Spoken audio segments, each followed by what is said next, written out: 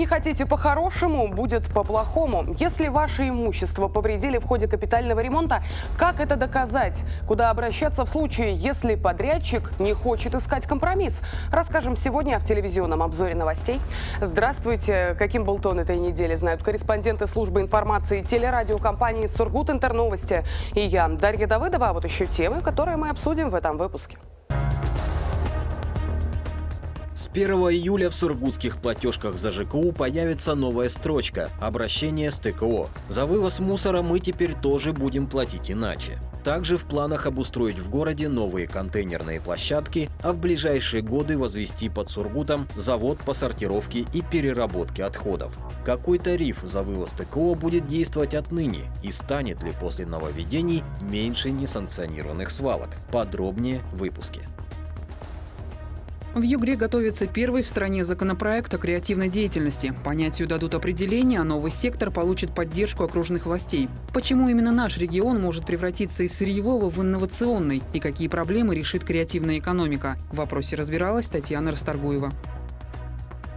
По-человечески не жаль. Жизнь пенсионера-инвалида, запертой в комнате в 12 квадратных метров, не изменилась. Власти Сургутского района не смогли откликнуться на крик женщины о помощи. Она всего лишь просила переселить ее из коморки на втором этаже в помещение большей площади и на первом. Это позволило бы ей хоть иногда бывать на улице. Последний раз Валентина Джамалова находилась на свежем воздухе в 2014 -м. В гостях у пенсионерки вновь побывал Дмитрий Круковец.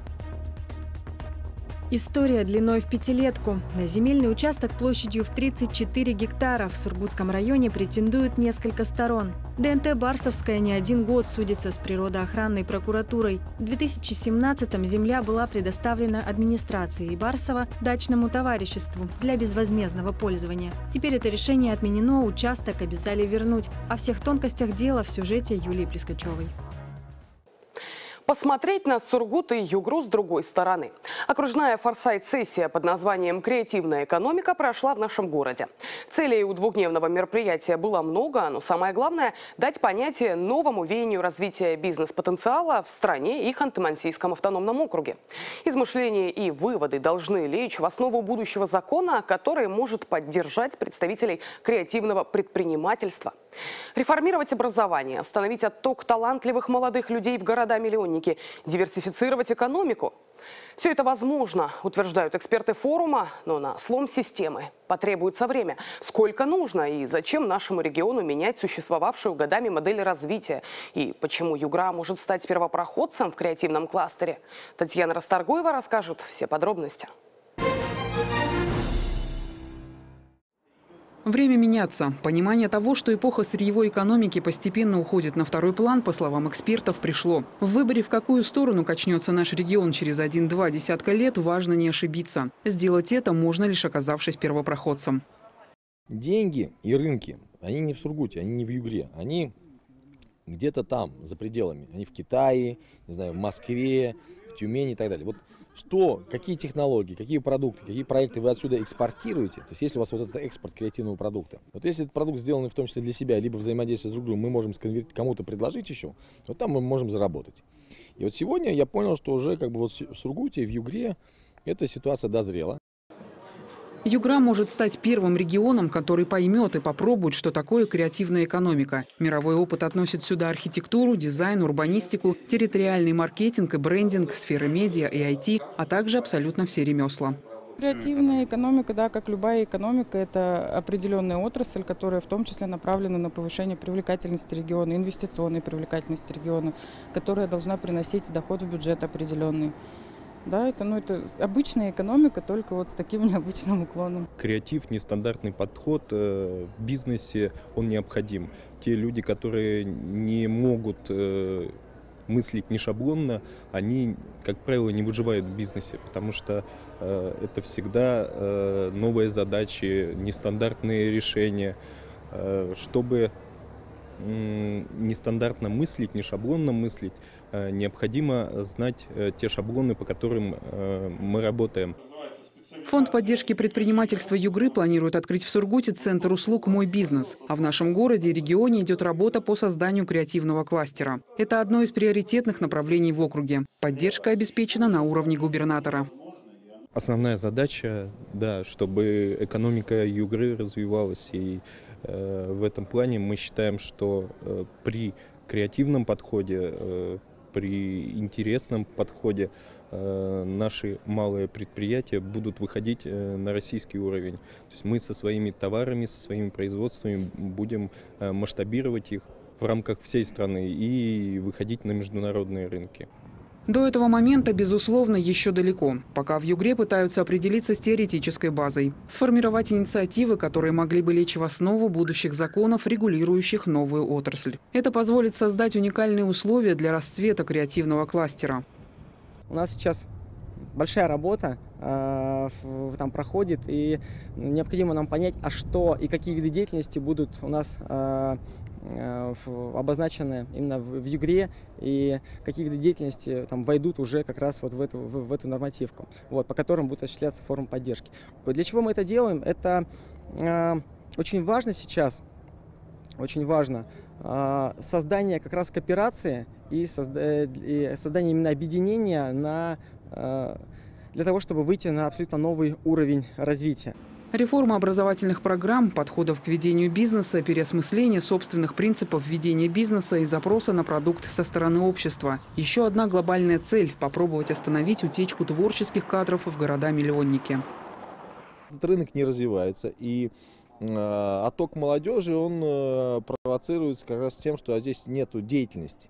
А, второй момент связан с тем, что э, кроме них самих эту деятельность никто создать не может. И тут я вот хочу сказать респект вашему губернатору, который по большому счету не стал думать за молодежь. Он сказал, друзья, как бы, а вот придумайте сами.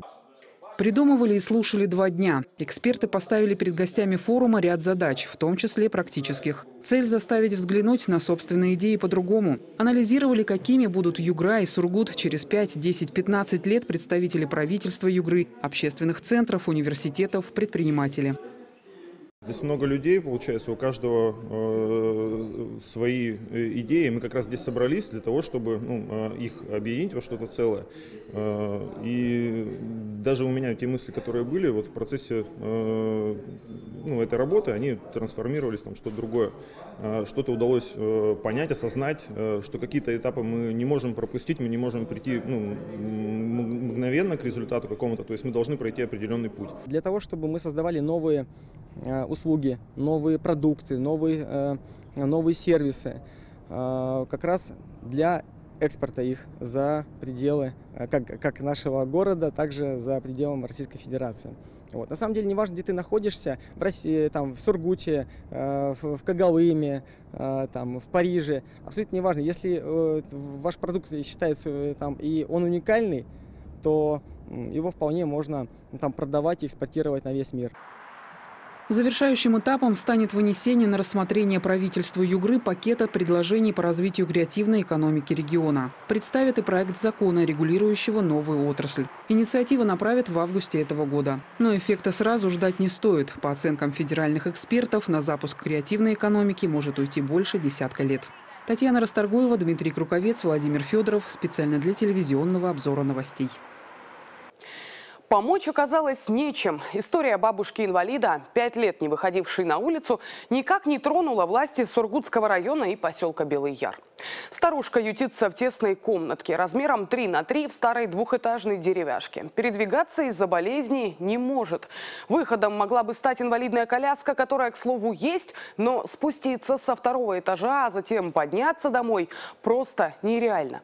На ситуацию обратили внимание представители молодой гвардии и Общероссийского народного фронта. Но реакции со стороны тех, кто принимает решение, нет. В надежде на то, что о проблеме все же услышат, мы съездили в гости к Валентине Ивановне Джамаловой еще раз. Мой коллега Дмитрий Круковец продолжит.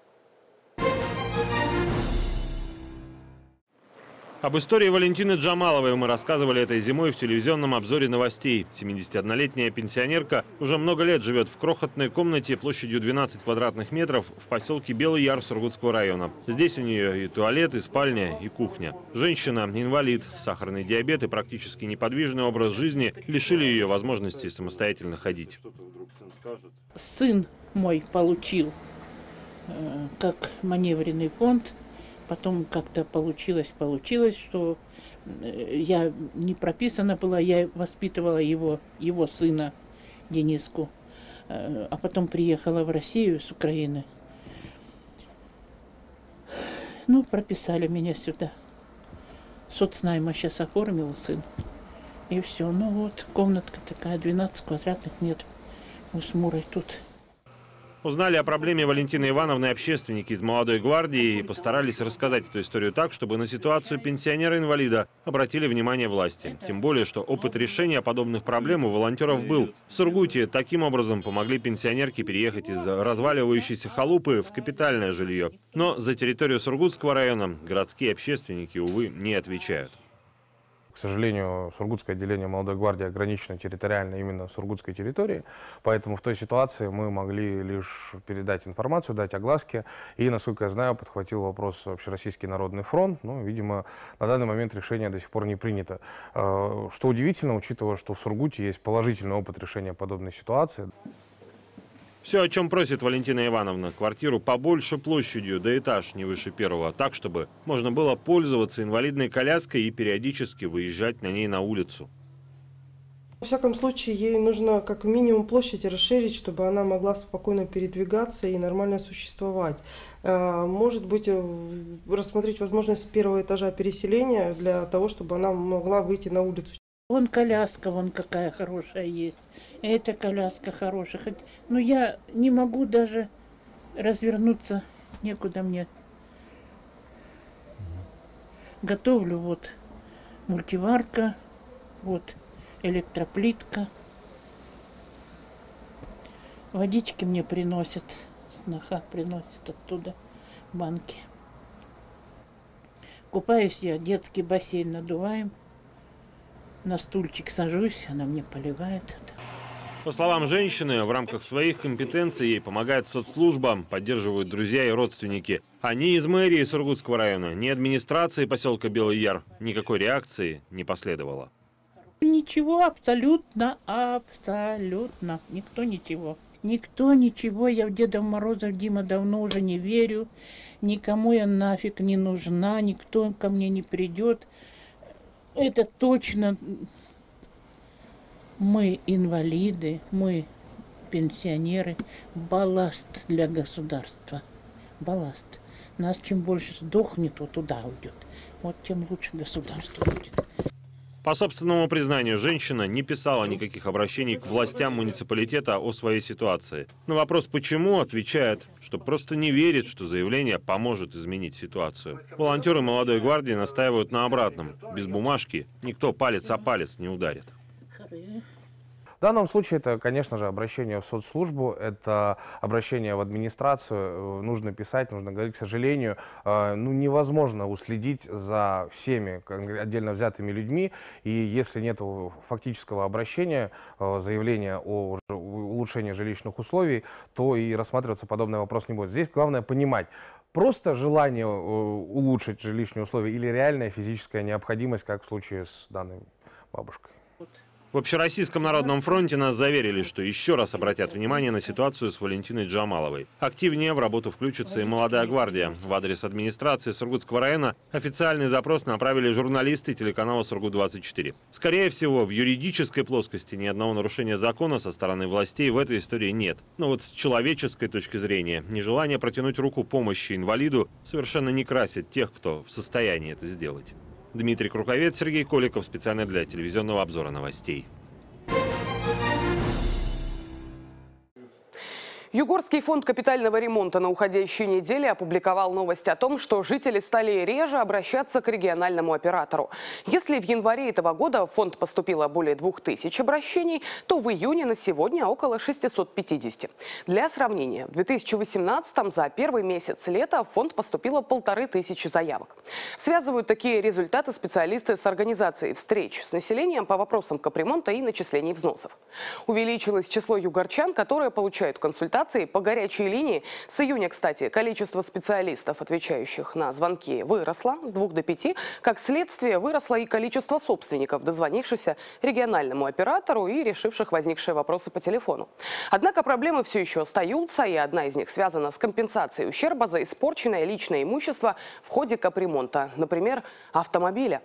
Такая ситуация на Бахилова-3. В этом доме центральный ДЭС сегодня выполняет капремонт по нескольким позициям. Хорошее дело вроде бы. Здание 80-го года постройки. Реновация прямо-таки напрашивается, но радость от обновления родных стен омрачена.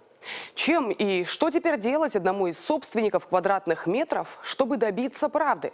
Вместе с Денисом Зоновым мы встретились с жителями третьего дома на Бахилова, а также задали озвученные выше вопросы нескольким ведомствам.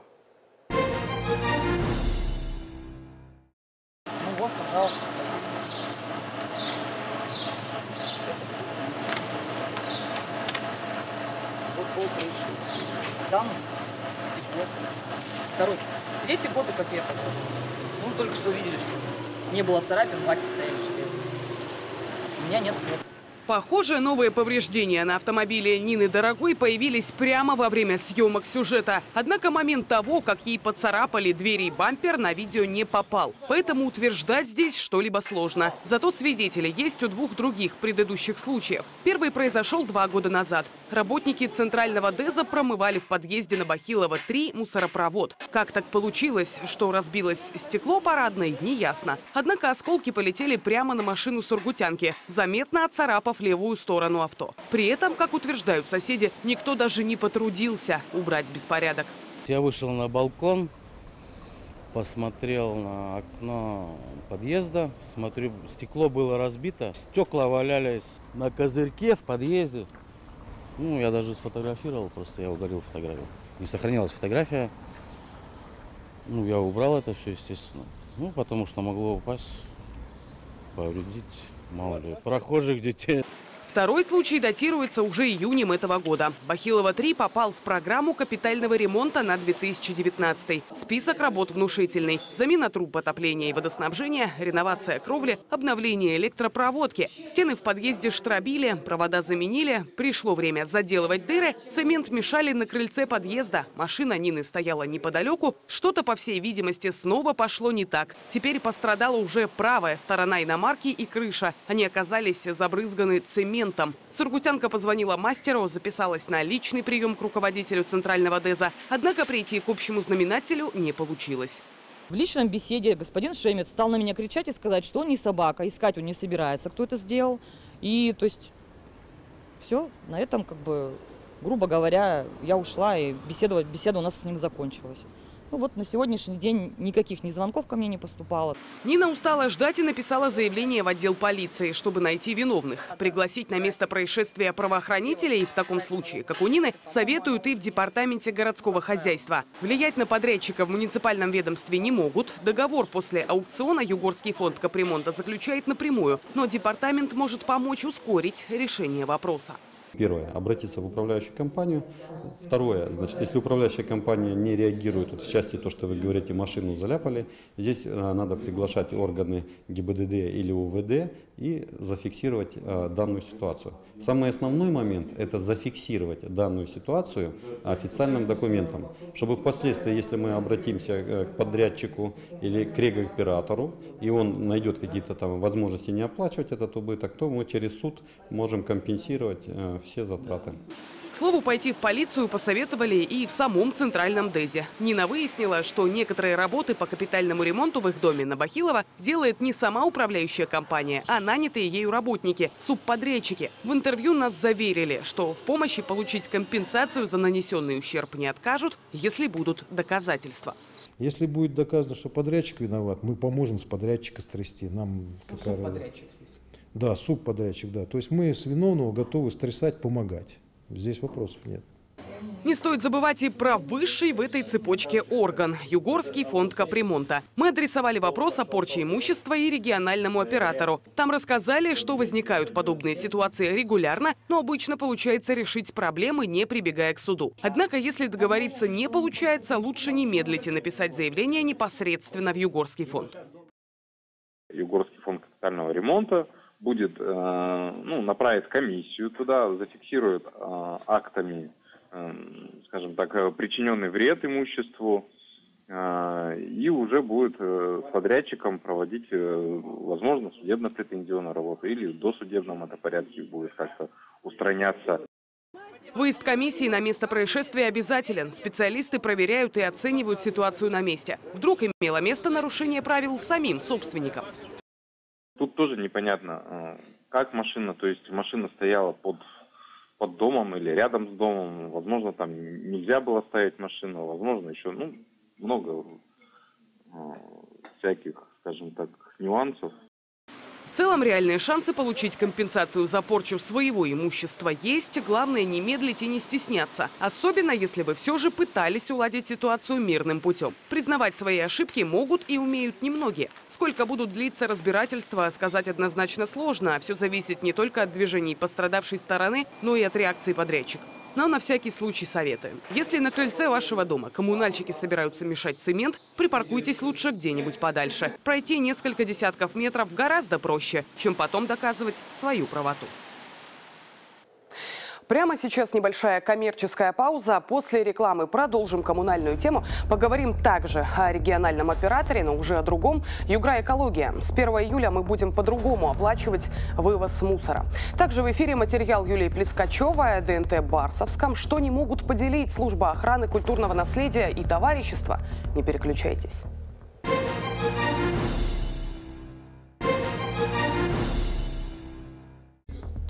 Я приветствую тех, кто только что к нам присоединился. Каким был тон этой недели, вам рассказывают корреспонденты службы информации Сургут Интерновостей. И я, Дарья Давыдова. Этот день настал. Новый порядок обращения с твердыми коммунальными отходами дошел до Сургута. В августе в своих коммунальных платежках мы увидим новую строчку с другой суммой за услугу.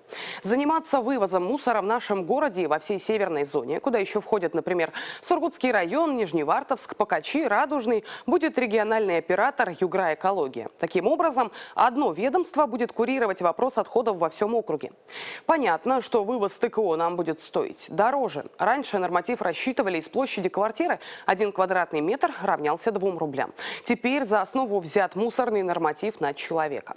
В целом идея нового обращения с отходами неплохая. В планах появление заводов по сортировке и переработке мусора.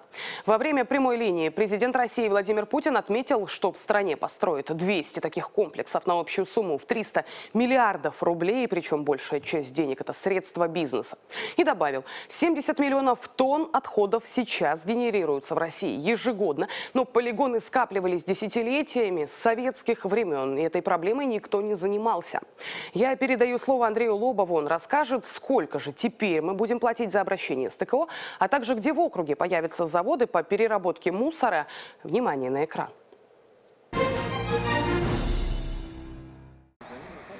На новой трассе на Нижневартовск Народный фронт еще два года назад обнаружил два мусорных участка по 4 гектара каждый. В договоре аренды первого прописано, что предприниматель здесь должен построить объекты под сельское хозяйство. Однако намеков ни на коров, ни на теплицы пока не обнаружено. Вероятно, те отходы, которые присутствуют на территории, он свозит сюда под отсыпку. И вопросов бы не было, если бы юридическое лицо получило соответствующее разрешение. Без разрешающих документов так делать нельзя. Ведомства, ответственные за экологическую безопасность, как минимум должны проверить класс опасности отходов. Ответственность у нас предусмотрена статьей 8.2 э, Кодекса об административных правонарушениях. Э, орган, уполномоченный рассматривать это Природнадзор, э, по результатам рассмотрения землепользователю должно быть выдано предписание об устранении данных нарушений, ну и, соответственно, дается месяц на то, чтобы данные нарушения были устранены. Подобраться столь близко ко второму участку не получилось. Однако даже с другого берега невооруженным глазом видно, что территория завалена мусором. Назначение у участка тоже прописано как сельскохозяйственное. Но что-то пошло не так. Глава Сургута Вадим Шувалов, который побывал на инспекции, отметил, что к нарушителям будут применяться жесткие меры. Особенно с учетом того, что эти две территории расположены в пойме Аби, и во время половодья весь этот мусор уходит в реку. Впереди у нас э, реформа ТКО, и вот такие вещи, они просто недопустимы. То есть администрация совместно вот с общественностью будет просто э, с этим жестко бороться и пересекать. Впрочем, такие ситуации, вероятно, уже с этого года станут исключением. Теперь вывозом отходов будет заниматься региональный оператор «Югра Экология». Мусорная реформа дошла и до северной зоны, в которую входит Сургут. Для обычных жителей, кроме суммы за обращение с твердыми коммунальными отходами, по большому счету ничего не изменится, но об этом чуть позже. Население даже может не заключать прямой договор с регоператором. Документ на новую коммунальную услугу является публичным и распространяется на сургутян автоматически. А вот бизнес это сделать обязан. И вряд ли региональный оператор будет рисковать репутацией, чтобы складировать мусор не на полигоне, а где-то в лесу. А теперь о стоимости. Для всей северной зоны установлен единый тариф на обращение с ТКО. Это 697 рублей 51 копейка в год на человека. Посчитать, сколько каждый будет платить ежемесячно, труда не составит. 1,9 кубических метра на человека в год.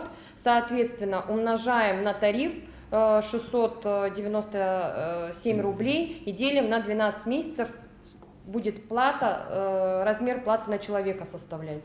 Ежемесячный. Ежемесячный. 110 рублей 44 копейки. 110 рублей 44 копейки – это размер платы на человека в многоквартирном доме. Соответственно, если в квартире проживает 4 человека, 110 рублей умножаем на 4, получаем размер платы за месяц.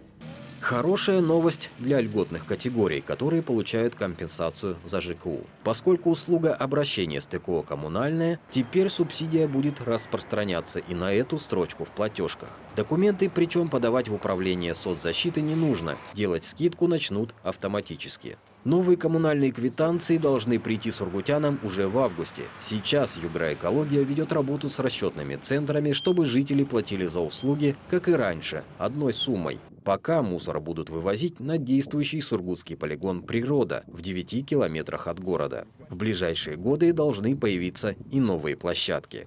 В соответствии с территориальной схемой предусмотрено строительство пяти межмуниципальных полигонов. Один из межмуниципальных полигонов на сегодняшний день возводится в городе Нефтеюганске. Планируется, что дата ввода в эксплуатацию этого объекта – декабрь 2020 года. Остальные четыре объекта – это Ханты-Мансийск, Нижневартовск, по-моему, Сургут. Mm -hmm. Да, также планируется, пока дату не могу сказать, сейчас проводятся работы по нахождению земельного участка. Предварительно известно, что новый полигон расположится в районе действующего. На площадке будет и завод по сортировке и переработке отходов. Сейчас прорабатывается вариант отдать его строительство бизнесу по договору концессии. Также в перспективе новые контейнерные площадки. Их в Сургуте появится 90. Поставят баки на муниципальной земле, в местах, где таких зон еще не было. Там э, будет предусматриваться э, сбор у нас на два контейнера, это сухие и влажные, то есть вторсырье и то, что пойдет только на полигон для захоронения. Поэтому все это в перспективе будет. Также ртуть содержащие, конечно же, отходы, опасные контейнеры, которые мы тоже наблюдаем оранжевого типа. Поэтому все это прорабатывается. В многоквартирных домах, по сути, работа отлажена. Управляющие компании просто передадут ее региональному оператору. Правда, пока ответственного за контейнерный парк не определили. А губернатор Югры Наталья Комарова на уходящей неделе в своем инстаграме опубликовала новость, что принято решение выделить муниципалитетам субсидию на приобретение баков. СМИ сообщают, что речь идет о сумме в 81 миллион рублей. Уже в этом году на эти деньги должны закупить почти 6 тысяч контейнеров и обустроить тысячу площадок для них. Без новых технологий никуда. Контейнеры оснастят датчиками наполняемости. Так что современные тренды докатились и до мусорок. Следующим шагом должно стать решение о сортировке отходов, собственно, стандартной практики для Запада. Правда, когда в наших квартирах появится по 3-4 мусорных ведра вместо одного, вопрос пока открытый. Андрей Лобов, Дарья Давыдова, Сергей Коликов. Специально для телевизионного обзора новостей. На уходящей неделе возобновились судебные заседания по уголовным делам, которые возбуждены против бывшего главы Сургута Дмитрия Попова. Наша съемочная группа работала на них. Допрос экс-мэра по инкриминируемым преступлениям перенесли. Изначально планировалось, что на этой неделе серию заседаний откроют как раз-таки показания бывшего градоначальника. Сторона защиты настаивала на том, чтобы удалить из зала заседаний следователя по особо важным делам, который занимался подготовкой материалов к процессу. Желание адвокатов допросить сыщика в качестве свидетеля. Представитель прокуратуры возразила, сославшись на то, что соответствующее ходатайство не подавалось, а сам свидетель, исходя из своего статуса, может прокомментировать только процессуальные действия во время расследования. Суд с позицией гособвинителя согласился. Адвокаты Дмитрия Попова попросили пять минут на совещание и заявили ходатайство об изменении порядка судебного следствия. Таким образом, суд вначале заслушает показания свидетелей, а уже потом Дмитрия Попова. Изначально была информация, что всего допросят около 100 человек. В ходе последнего заседания произошла замена представителя потерпевшего. На основании доверенности администрацию города в суде теперь представляет Елена Фищук, председатель комитета по управлению имуществом мэрии. Я напомню, что бывшего главу Сургута обвиняют в совершении трех преступлений. По мнению следствия, Дмитрий Попов одобрил невыгодную сделку по продаже песка, поставил подпись под договором о приобретении помещения для билдинг-сада и нарушил процедуры при выплате субсидий совхозу «Северная». Экс-градоначальник все обвинения отрицает. О других важных событиях уходящих семи дней короткой строкой Антонина Сахарова в дайджесте.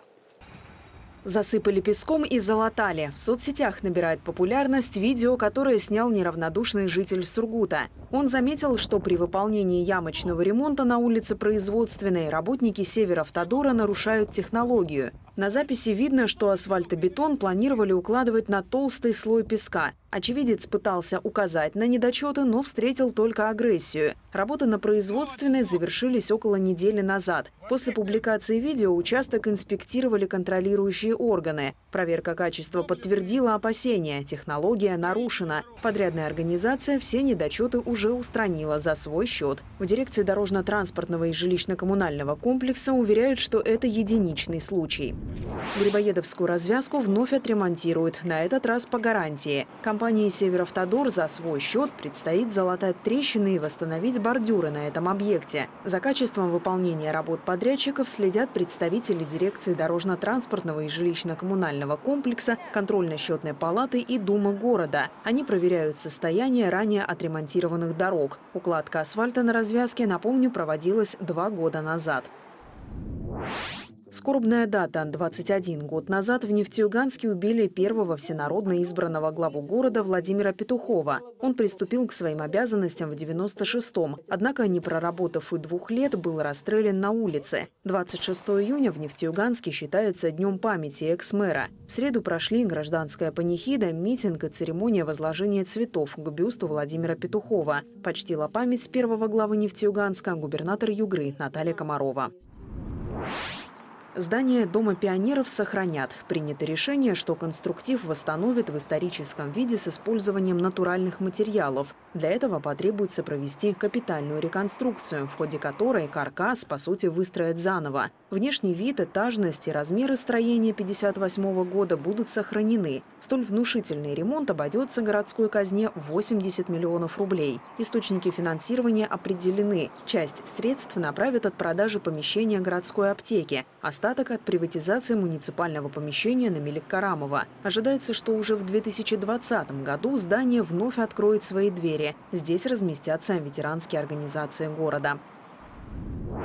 Первое место. Проект Юлии Давыдовой, продюсера телерадиокомпании «Сургут-Интерновости», стал одним из лучших на окружном конкурсе «Отечество». Диплома за первое место в номинации «Патриот» наша коллега удостоена за цикл программ «Война глазами детей». Проект готовили ко Дню Победы. Премьера состоялась на телеканале «Сургут-24» 9 мая этого года. Героями стали дети, которые рассказывали сверстникам о Великой Отечественной войне своим языком. При этом они и сами узнали много подробностей о страшных сороковых. Организаторами регионального конкурса «Отечество» являются окружное отделение Союза журналистов России, Союз журналистов Югры, Ассоциация журналистов «Клуб Честное слово». Добавлю, что посмотреть проект «Война глазами детей» вы можете в эфире нашего телеканала и на нашем сайте indefisnews.ru. Он размещен в разделе «Фильмы».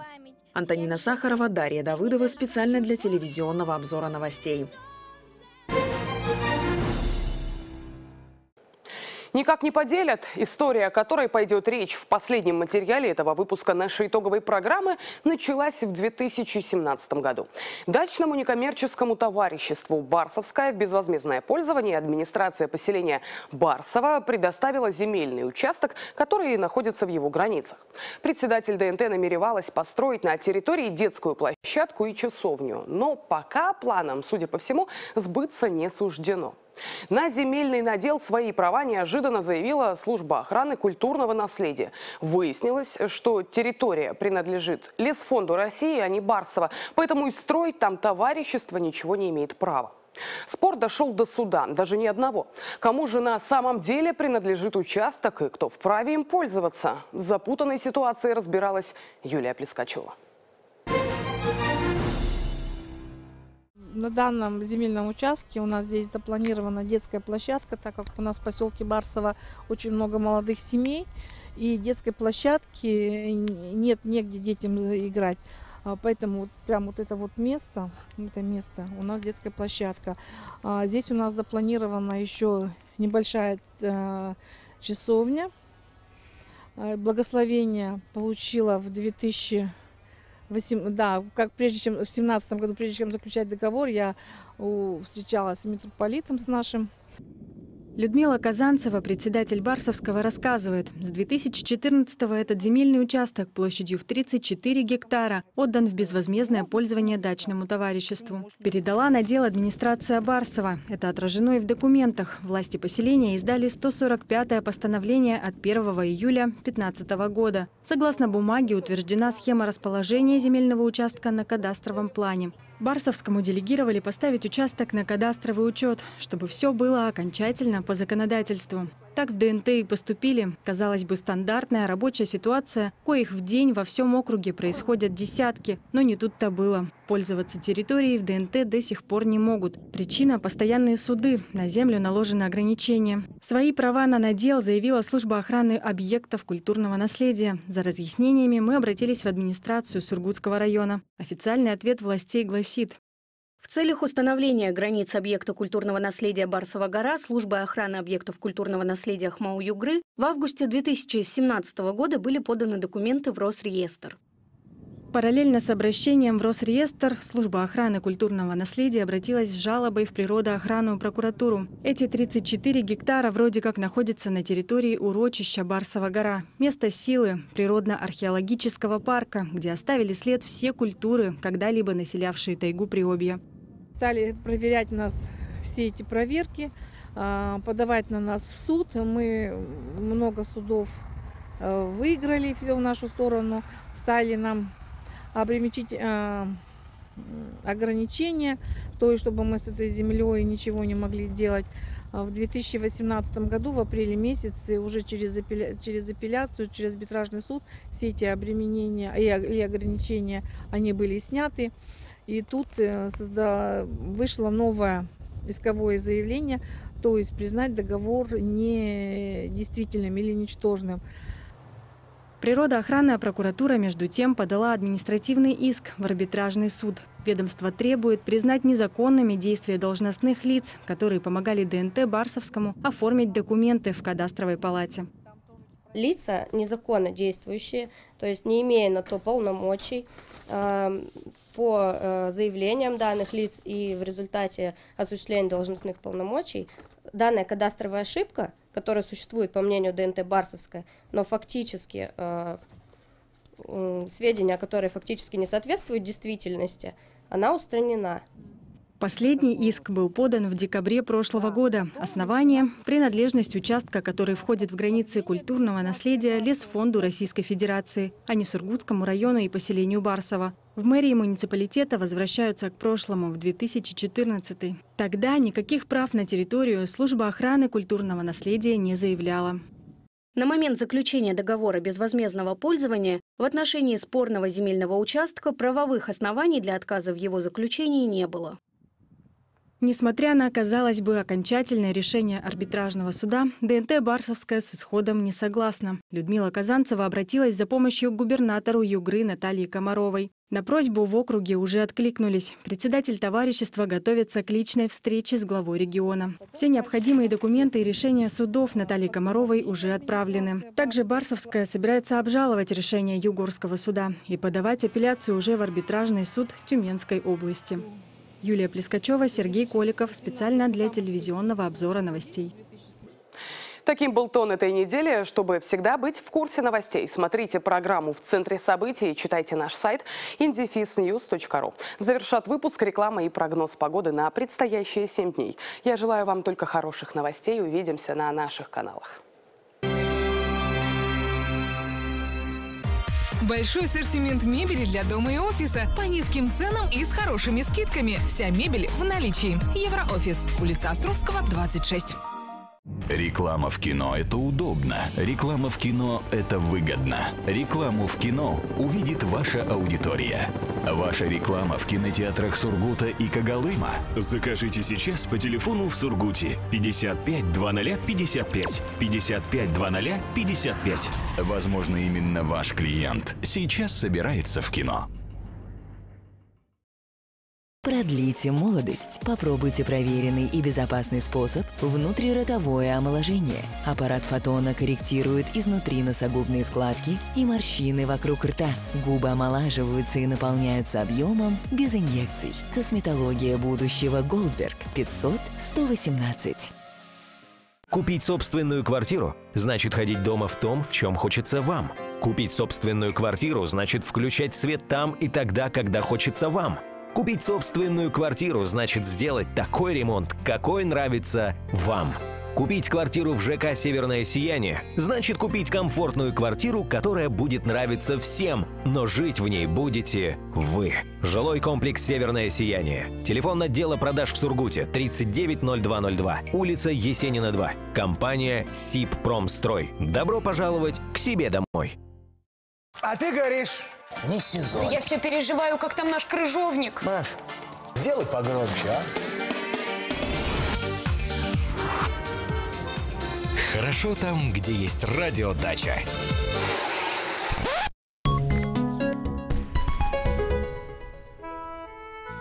Телерадиокомпания «Сургут Интерновости» представляет прогноз погоды в Сургуте и окрестностях на предстоящую неделю с 1 по 7 июля в студии Дианы Улдашбаева. Большую часть недели западно-сибирская равнина окажется в области обширного антициклона, так что облаков будет немного и воздух в регионе очень хорошо прогреется. Этот период затянется вплоть до четверга, а затем к берегам Аби прорвется циклонический вихрь, и под аккомпанемент грозовых дождей столбики термометров поползут вниз. В начале недели переменная облачность, без осадков. Понедельник ночью плюс 11, плюс 16, днем плюс 24, плюс 29. Во вторник ночью плюс 12, плюс 17, днем плюс 26, плюс 31.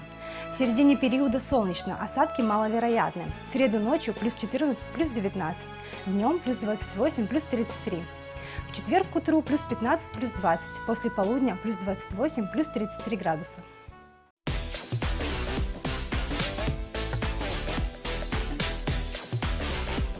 Салонах обуви «Саламандр» большая распродажа летней обуви. Скидки до 50%. Скидка до 80% на зимнюю, демисезонную и летнюю обувь. Дисконт-центр, улица Профсоюзов, 21, второй этаж.